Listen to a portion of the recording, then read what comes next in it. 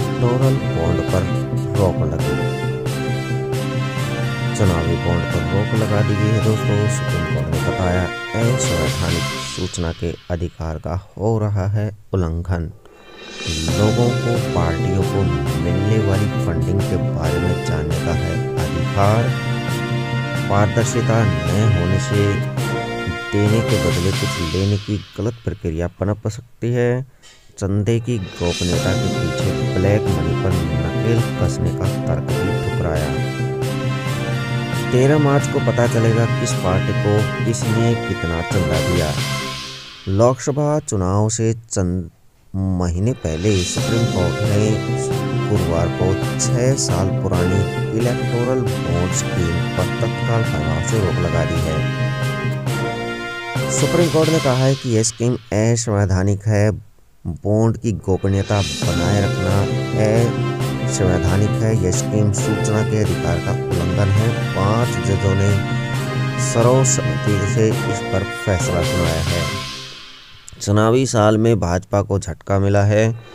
चुनावी साल में इलेक्टोरल बॉन्ड पर सुप्रीम कोर्ट का फैसला, सत्तारूढ़ भाजपा के लिए बड़ा झटका माना जा रहा है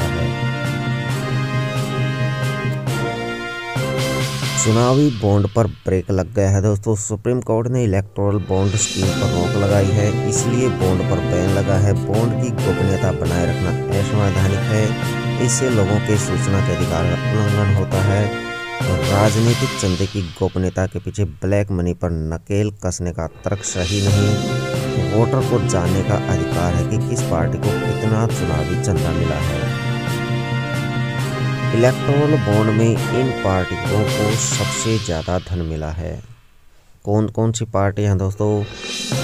बीजेपी को 22 करोड़ रुपए, टीएमसी को 42 करोड़ रुपए, कांग्रेस को 10 करोड़ रुपए, ये 2020-21 का आंकड़ा है। बीजेपी को एक हज़ार बत्तीस करोड़ रुपए, टीएमसी को पाँच सौ अट्ठाईस करोड़ रुपए, कांग्रेस को दो सौ छत्तीस करोड़ रुपए ये बीस इक्कीस इक्कीस बाईस का फॉर्म, इक्कीस बाईस का चंदा है। बीजेपी को तेरह सौ करोड़ रुपए, टीडीपी को चौंतीस करोड़ रुपए, कांग्रेस को एक सौ इकहत्तर, ये बाईस तेईस में मिला हुआ चंदा है। क्या है चुनावी बॉन्ड? चुनावी बॉन्ड क्या है दोस्तों? इसे पेश करते वक्त दावा किया जाता है कि इससे राजनीतिक पार्टी को मिलने वाली फंडिंग और चुनाव व्यवस्था में पारदर्शिता आएगी। 2 जनवरी 2018 को केंद्र सरकार ने इसे नोटिफाई किया। ये इस तरह का प्रोमसरी नोट है। इसे कोई भी भारतीय खरीद सकता था।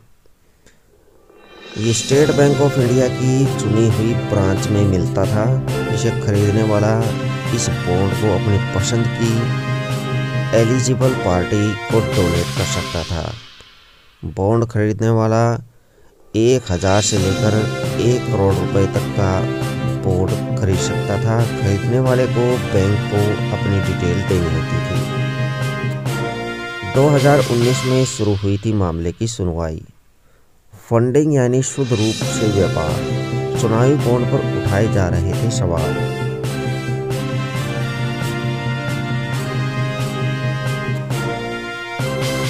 इलेक्टोरल बॉन्ड्स का फंडा। इलेक्टोरल बॉन्ड राजनीतिक दलों को चंदा देने का एक वित्तीय ज़रिया है।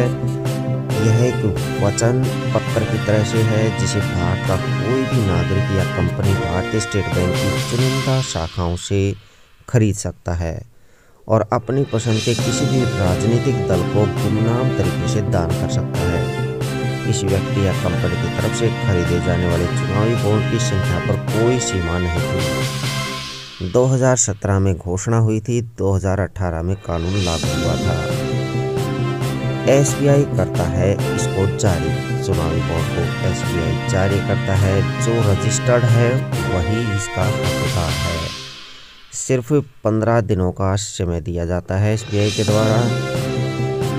दस दिन की अवधि के लिए खरीद के लिए उपलब्ध कराए जाते हैं।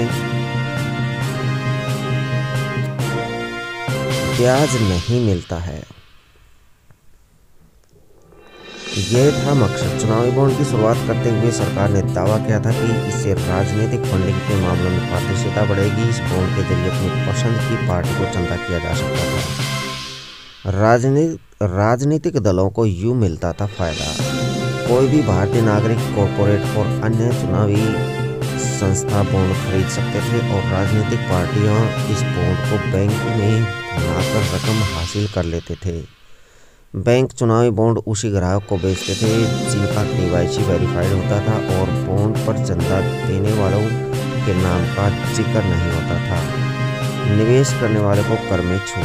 राजनीतिक पार्टी को सीधे चंदा देने की जगह चुनावी बॉन्ड के ज़रिए चंदा देने से दी गई राशि पर इनकम टैक्स की धारा 80 जी जी जी जीजीसी और 80 जीजीबी के तहत यह छूट देने का प्रावधान है।